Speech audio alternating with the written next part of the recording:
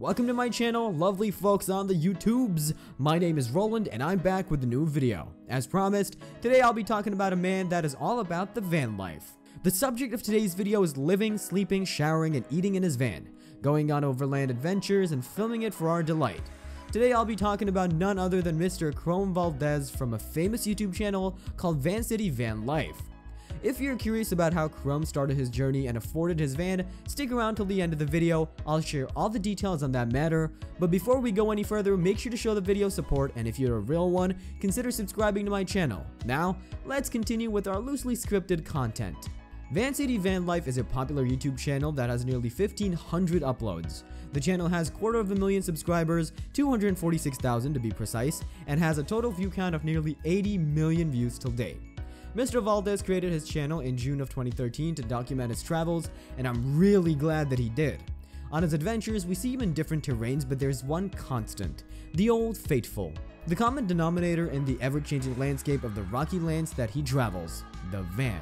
Mr. Valdez drives a 2004 E250 extended cargo van which he purchased on August 16th in 2017.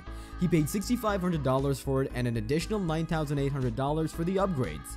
This was done through personal savings as he's worked for the past 20 years as a musician. He has since driven it for 330,000 kilometers, which is more than 200,000 miles. Chrome is from Vancouver, Canada and loves sharing his travels with Journey with people on YouTube. He wants to inspire someone every day to wake up and be true to who they are, to live the life they want to, and not live a single day hiding the true person they are inside. His motto is, wear your weirdness on the outside. Weirdos unite! He's accompanied on his adventures by his pet dog Cruz. Chrome has two vans in his weirdo's garage, with neither having a name. He still lives in a home at times and is not always on the road, which I feel is a pretty healthy choice. He's 47 years old and is now dating a fellow YouTuber, the Cat Lady Van. Her real name is Emi, with her full name being Emily Guerin. She was previously in a toxic relationship and is currently quite happy with her relationship with Chrome.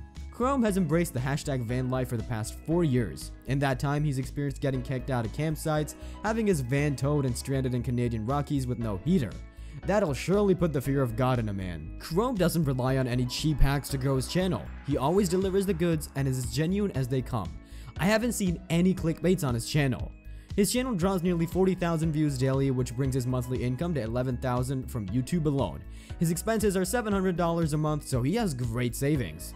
It's quite impressive in my opinion. He makes his income by running ads on his YouTube channel, his merch, affiliate marketing, through Amazon and a Patreon account. In total, this brings Chrome Valdez's net worth to $175,000. He has also performed at numerous concerts, although this isn't online income unlike his other income streams. Well, I hope that information was helpful for the fans of Chrome Valdez. This is all about the info I could get on the dude, so I really enjoyed putting together this video.